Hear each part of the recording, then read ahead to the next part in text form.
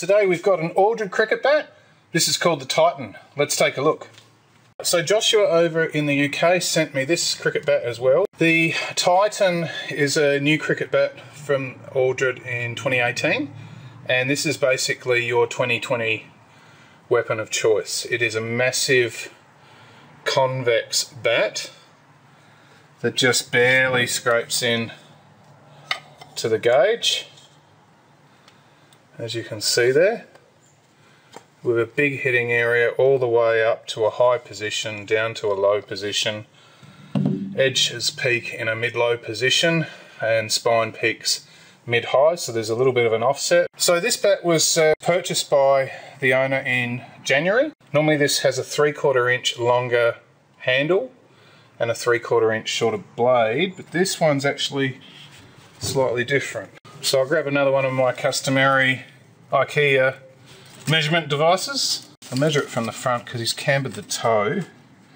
So 52 at the front. So let's say 52. So it is actually quite a bit shorter than some of the Gunn & Moore ones. Probably put it within the same sort of vicinity as the Gunn & Moore Kaha as far as the length of the blade. What features have we got? Well, let's start with the toe. Very thick, 32 millimeters, the thickest point. Edge peaks at 39 at about that position there, so right in the hitting area, whereas the spine peaks at about 65, although it doesn't look it. It's just so massive that it, it looks almost flat and, and boring, but it's not. There was a few little dents in that when, when this was received, so this bat's been basically, unfortunately, Joshua couldn't play with the bat because of his work, so he sent me the bat and it hasn't been used, but it had a few little dings which I steamed out. Uh, I managed to put another one in myself, sorry. There's another one down here. Stickers themselves, there is embossing there. They remind me a lot of the old Newbery stickers. So you got Aldred, white, that's all embossed with black highlighting. I mean the shape of the stickers remind me of the Newbery stickers, not the actual stickers. This also reminds me a little bit of that. So you got Aldred written there. And that's also embossed. So nice good quality stickers. Titan written there, silver with black embossing. Feels really nice. So the bat, Paul actually presses every bat individually to maximize its performance. Now he's done some videos on YouTube, which you should actually go and have a look at. There are some twits around the place who seem to get off on posting comments on YouTube. Now, bat makers don't have to actually make a comment or do anything that helps you guys uh, see their product.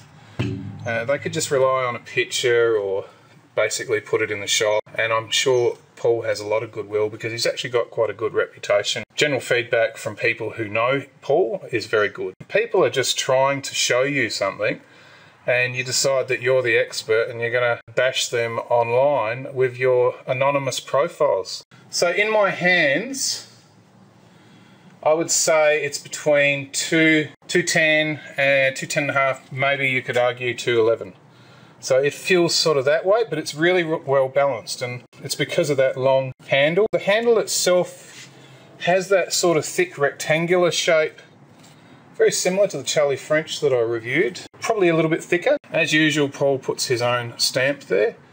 That's the individual number of that bat. Handles themselves are three rubber inserts.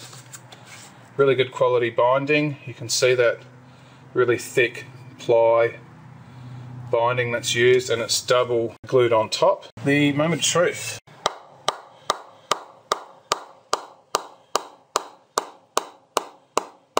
So it sounds nice and deep, low position, mid low, mid, mid high. It's going mid high, mid,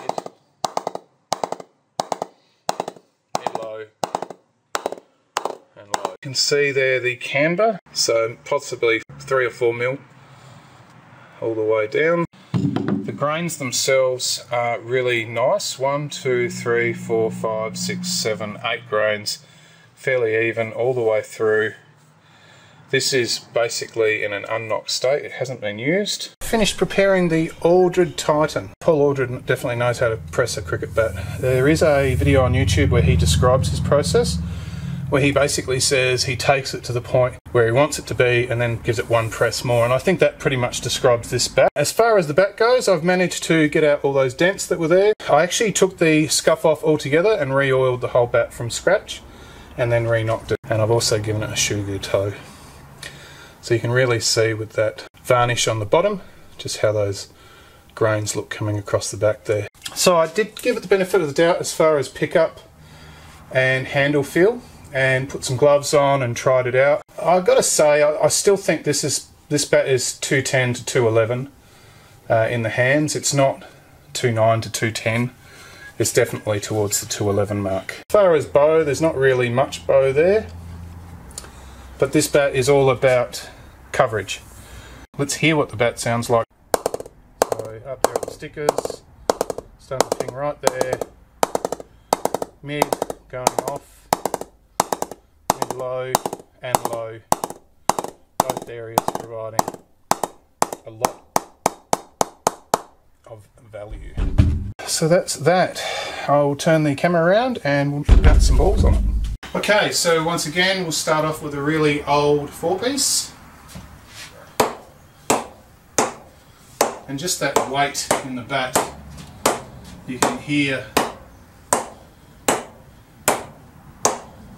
that it just wants to go.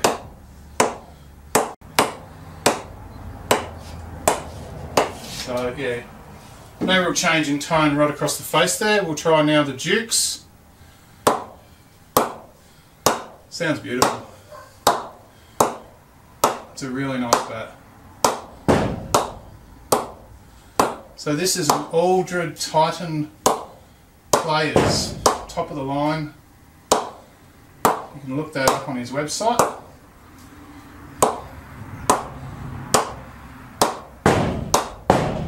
And yeah, she goes.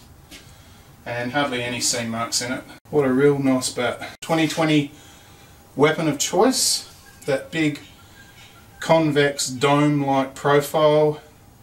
Big wide middle, flatter style face and plenty of power. Perfectly pressed.